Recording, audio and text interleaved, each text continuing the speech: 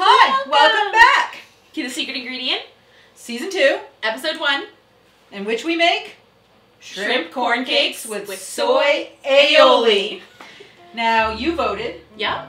We heard you. And we are doing an entire season of all appetizers. Appetizers. Yeah, so get ready to make some delicious uh, appetizers to bring to your holiday parties. And uh, Well, you know what else we should tell them about? what? Our podcast. Oh my gosh. Okay, so we accidentally started a podcast. we accidentally started a podcast, and Because, you it's know. actually really good. Yeah, I thought it was kind of cute. It is cute. Yeah. But if you missed it, you might want to go back and watch, listen to the first one because we tell you all the appetizers we're going to be making Yeah, this season. Get ready because it's gonna make you hungry. Yep. It's, uh, yeah. There's a lineup of delicious, delicious food. So, Okay. Are we ready? yeah. So today Shrimp corn we are going to start with just making the sauce, right? And then we're gonna put it aside. Yep. Okay. We're going to start with our soy aioli dipping sauce. Which I'm really intrigued by. There's a lot of good ingredients in it. So, um, Shall we start- begin? Yeah. Okay. So half a cup of mayo. Half a cup of mayo. Okay. Sounds good. Sound Oh effects. goodness. Yeah. This is some, uh, you know, delightful sounding ASMR right This now. is why we should.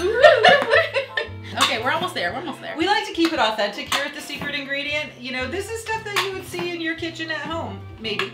Maybe. All right. Uh, yeah, good. yeah, that's that's probably pretty close You're to. special, my dear. Excellent, excellent. Okay. All right. Good. Here we go. What's the next one?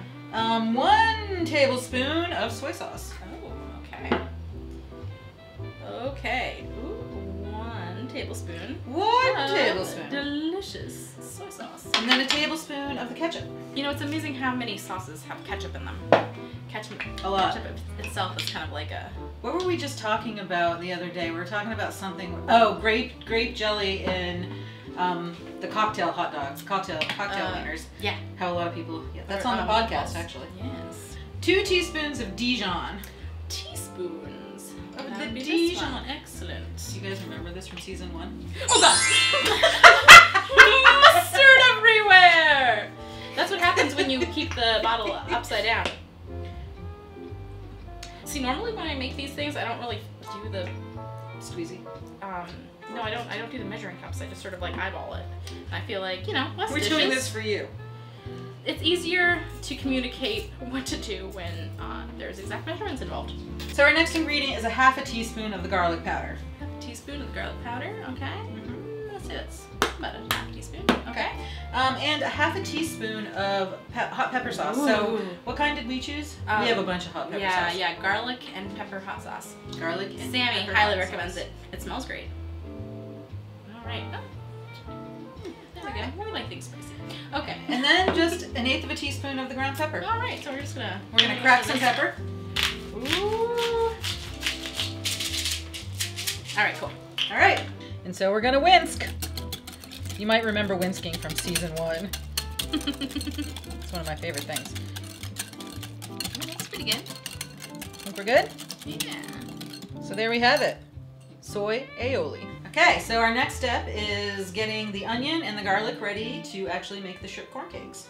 All right, so it's a half a cup of onion. I'm Mhm. gonna guess that's about a half a cup. It's probably pretty close. Yep. Yeah. And then it's supposed to be like two or three cloves of garlic, but in this family, Always more. always, always more garlic. Double, double the garlic. Because garlic is good. See that fast knife work right there? Yeah, fancy. All right, so we're gonna chop some onion and some garlic. Yeah, and I'm gonna take all the papery stuff off of this onion here. This is how I do garlic. Oh yeah, that's the best way to do it. Smush it, comes apart real easy. Be elegant with your onions. Yes. Be aggressive with your garlic. Elegant with your onions. Interesting. Yes. It's important to ask the vegetables how they like to be treated. Everybody has their own particular ways that they experience pleasure. We're a family show. I shouldn't be surprised when things like this come out of your mouth anymore. Uh, I'm the good one. Oh, are you? Okay. Yeah, I'm the good one. Excellent. And I'm the bad. She's the naughty one. I didn't say bad, I said naughty. Oh, okay. Oh, so one of the things that you mentioned the other day is that uh, you want to start making um, secret ingredient playlists. Oh, which, yeah. Uh, so we can't actually play music while we're doing this because everything's copyrighted. But we definitely think that playing music while you're cooking makes the whole experience more fun. So we'll give you a playlist. Does uh, chopping onions make a cry. Sometimes. It, it makes me cry a little. You know, I've heard that if you take water and you sprinkle it on the board before you begin, that that Really? helps. Yeah. I've heard chewing mint gum is supposed to help. I've heard looking into the freezer, like opening the freezer and blinking your eyes. I've heard like turning around three times while reciting the name of your four ancestors. Just kidding. Ta-da! There's our garlic and our onions, and we'll move on to the next piece. All right, so this recipe calls for us to use uh, deveined and shell taken off and tails taken off shrimp, which I did earlier. So we're gonna chop them small. Okay. It wants them chopped finely. I've never uh, shrimp. chopped shrimp finely before, so I think can- that's good. That's perfect. What you're doing right there. yeah. Yeah. that- okay.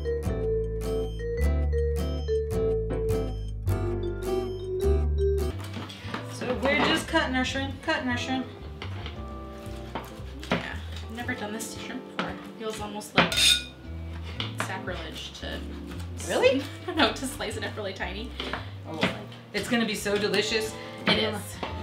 Kind of like um, you know, crab cakes. You know, like you want the little the flavor in there, but to be a more consistent texture all the way through. You know what I bet would be good in here as well, which they don't actually have. Green onions. I was thinking jalapeno, Oh, like a chopped up jalapeno. We participate in our local CSA. It's been great. and it's called Gardening the Community, and they're amazing. They're an amazing program. Yeah, we're big fans. All right, so the next thing we're gonna do is prep the dry ingredients before we get to uh, working on the stove. Are we ready? Yep. We need three quarters cup flour. Here we go. Great. Mm. Quarter cup cornmeal. This hasn't even been opened yet. It's a It's fresh bag. spanking new. Oh my gosh, that actually opened. Oh god.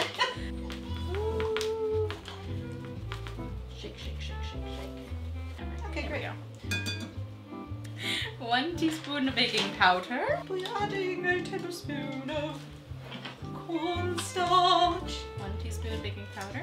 One teaspoon baking powder. Okay. One tablespoon cornstarch. Tablespoon cornstarch. Delightful. Okay. Salt and pepper. So salt about a quarter of a teaspoon and pepper a quarter of a teaspoon. There we go. Quarter teaspoon salt. Quarter teaspoon pepper.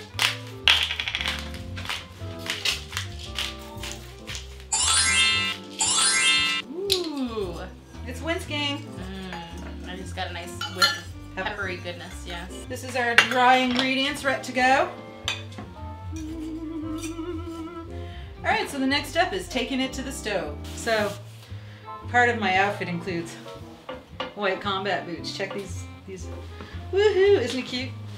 I feel cute today. All right, so we're back. You might hear Babis in the background. Babis, AKA Muffin, AKA Kiara. Has a lot of nicknames. She has a lot of nicknames. um, she's playing with her papa in the other room. All right, so here we are. We did a wipe out of our gorgeous cast iron skillet. That is a very well seasoned cast iron. Yeah, I gotta say my um, my honey does a good job keeping this cast iron skillet seasoned. All right, so we're gonna turn it on to a medium heat and let it start to get warm. We're gonna put some olive oil because we're gonna saute our onions and our garlic and our shrimp. It's gonna smell so good in here.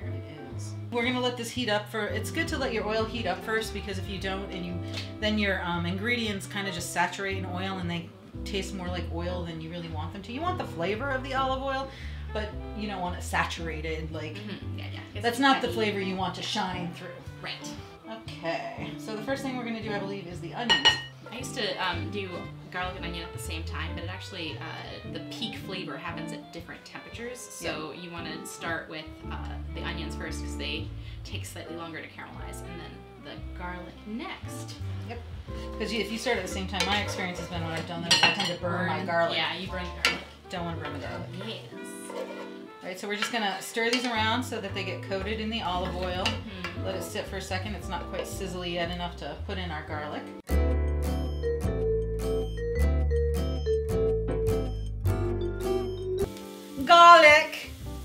Okay. You Add ready for the garlic? garlic. Okay. Here it comes. Ooh! Oh, Babis. Oh, I hear a sad baby. So it only, you want like a minute with the garlic in here, and then we're gonna add the shrimp, which we just long enough to make them pink. right? just, yeah, you don't Yeah. wanna overcook the shrimp, and we've got way more shrimp than we need. Adding shrimpish. Adding- This is gonna be kind of hard to do this way. okay. Yeah, yeah. Just We're still getting used to cooking like on camera in this kitchen. yeah. Now I'm just gonna saute these until they get pink. Like you don't want to do it any longer. If you cook shrimp too long, it gets tough. If you've ever had chewy shrimp, it was overcooked. It's starting to turn pink. We've still got some translucent kind of gray. Keep it stirring because you don't want them to stick in. This is good. We don't want to go beyond that. Yeah, that looks awesome. Okay, Nice pale pink. turning it off Okay. and removing it from the heat. Excellent. All right, so the next thing we got to do Mm-hmm. is combine our wet ingredients, or, or yeah, our wettish ingredients. Here we have about a cup of corn, maybe a little bit more. Yeah, it's like a smidge more than a cup. All right, we're gonna use one large egg, One large egg. and then we need one cup of cream style corn. Um, so Maud had actually made the cream style corn this morning, which was Yeah, awesome. they couldn't find cream corn at the store, so uh, we made it ourselves, which I think actually probably tastes way better. So- That's probably about a cup. I don't want to put too much. It was in. just a little bit over a cup when I put it in there, so I would do like one tiny, like yeah, like that. Alright. That's, that's a good amount. Okay. Um, now we're gonna add in the shrimp and the onions and the garlic. All right. Ready? Yep. Go ahead and. Woo. All right, so Maud, it's mixing up our shrimp and sauteed onions and garlic with the corn and creamed corn and the egg. Okay. That looks pretty good to me. Does it look good? Yep. All right, so our next thing we're gonna do is actually add them into our dry ingredients. All right. That's And we're gonna mix it, stir it until it's just moist. You don't wanna overmix it. okay. All right. Just until everything is moist. Okay. So I'm gonna sort of fold it together then. Yep.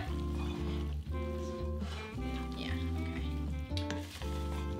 Mixing it together.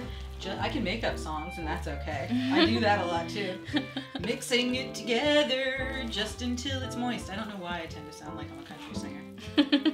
All right, we good? That looks good to me. All right. All right, so that's mixed together. The next thing we're gonna do is I'm gonna get ready to fry it. So we'll be back in just a second. So we're back and we're getting ready to fry up our corn cakes, our shrimp corn cakes.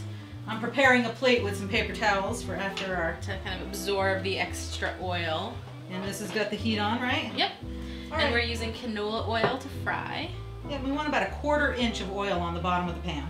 And this is a big pan, so Yep. is that maybe Maybe a little bit more. Yeah. that? Okay. Awesome. Oh man. Oh man. I don't fry things very often. I think the last time I did it was during an episode that we did something. Yeah. And here we are. The last again. time we did shrimp, okay. when we did the Yeah, coconut. that's yeah, that coconut shrimp. And the dipping sauce was our like.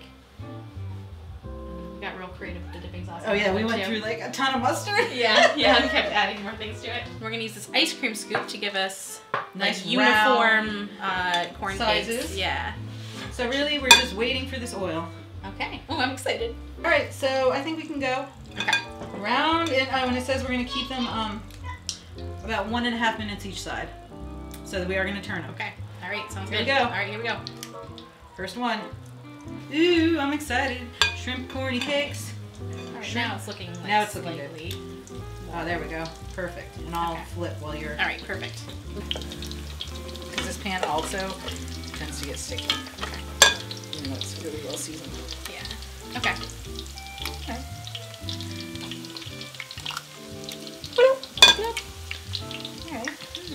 So we get about a half a minute more on those first ones that went in. We'll turn them and see if they're kind of golden, and if not, we'll flip them back. But I definitely think we want to compress it as yeah. we. I think making them really, really dense in the little scoops before putting them in. Hmm.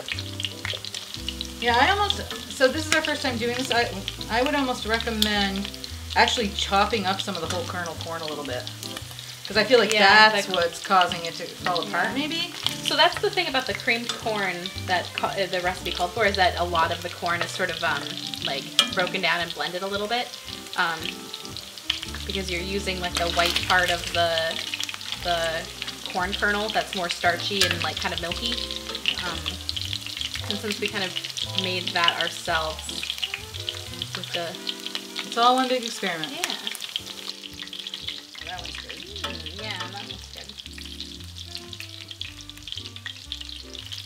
I do think that putting jalapeno into it though. I do too, actually. Yeah, that All right, go ahead. Put a couple more. yeah, I think jalapeno would be really good actually. Yeah. Yeah, I would definitely put more spice in it next time. Yep. I think it could definitely handle more spice. Yeah, how many of our uh, appetizers that we put on our list are ones that involve deep frying? Uh, not many. okay. Thank goodness. This, I, you know, deep frying is actually like, if you watched my first episode ever before Maudit was with me, um, deep frying is not my forte, and it's not something I do a lot. Why are my falafel not cooking? They're like kind of falling apart. What have I done wrong? All right, we're taking the last ones out. We're gonna set up to taste test, and we'll be right back. Ta-da! So here they are, our completed corn cakes, shrimp corn cakes, and this is the dipping sauce, and we're gonna try them and let you know how they taste. I'm gonna wait Alright. for you. Okay. You ready? Go. Mm. Mmm, it's good. Oh, that changes. Mm-hmm. I mean, I still want a little more bite in there, but that's Yeah. got a lot of flavor in Mm-hmm, it. mm-hmm. It does. Now I'm gonna drizzle. Yeah, It you has- saw me. I double dipped. It has um, a really good like texture, like with Mhm. the corn. All right, we're gonna get Get somebody else to come else try. on, on camera. We'll be right back. Mm. Taste tester.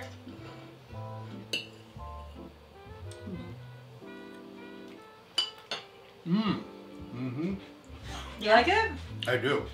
I like the flavor. I like the texture. Nice bit of a crunch. I like the bit. Yeah. We wanna next time we we wanna try putting some jalapeno in there. I was gonna say like It a needs a little bite. A little bit of diced jalapeno, Mm-hmm. Maybe even pickled jalapenos. I Mm, don't know. Yeah, yeah. Get a little acid in there too. Yeah, yeah, a little bit of the vinegar. Mm -hmm. I think that's a great idea. Or just jalapenos. Yeah, but like those are really good. I think you throw the jalapenos in there, and Okay. you've got a super keeper. so if this was like um, a menu item at a restaurant, I think I would probably order it every time. Like I It's would really good. And, Oh yeah. no, I. It's a good yeah. appetizer. Yeah, no, Yeah. I would totally order these for the table. And, Yeah, I think um, And then a not let the table smaller. eat them, just yeah, eat. not let the table eat them. I really like Um, the dipping sauce. I hope the yeah, dipping the sauce dipping is sauce is fabulous. oh, the dipping sauce really helps. Let's Try that little piece. Mm. She's like, I want the. You want to try this one?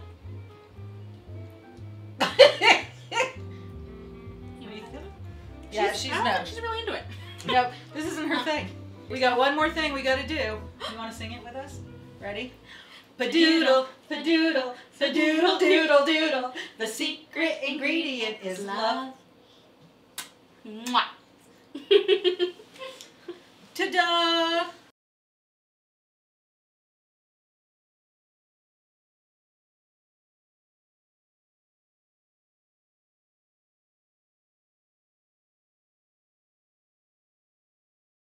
Fadoodle, fadoodle, fadoodle, doodle, doodle. The secret ingredient is love.